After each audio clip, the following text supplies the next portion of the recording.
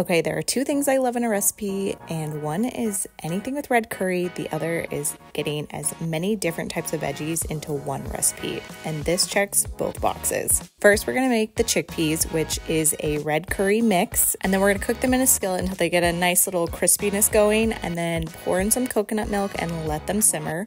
While that's going on, we're gonna dice up all of our veggies. Yes, we're gonna use a whole head of broccoli in this. Just cut it very small so that it can cook down easily. Then there's onions, carrots, corn, some dry seasonings in there. Add some leftover rice as well as some soy sauce and sriracha. And you have a delicious rice on your hands with so many veggies mixed in there.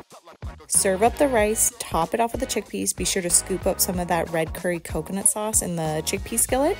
Top it off with green onions and some sesame seeds, and you are ready to dig in. This recipe is so delicious, makes great leftovers, perfect for meal prep. Get the full recipe on my site now.